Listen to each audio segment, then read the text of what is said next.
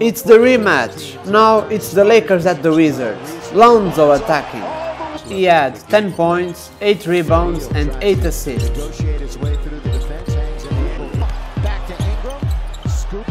Kuzma for 3, Lonzo with the rebound and aim. John Wall misses and the touchdown pass. Beal with 22 points, 5 rebounds and 5 assists. Oh! John Wall dunks on Lopez. Beal to the rim. And then for 3. Lob for Ingram.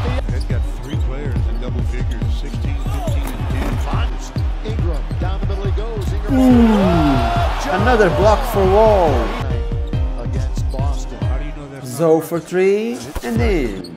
Bouncing that energy, making the right play. Morris two down low.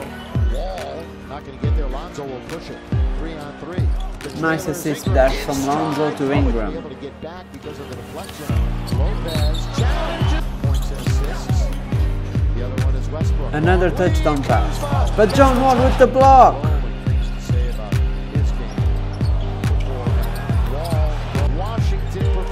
John Wall clearly wanted revenge. Lonzo is still 11 to shoot. Lonzo fouled on the three. Final results Lakers 95, Wizards 111.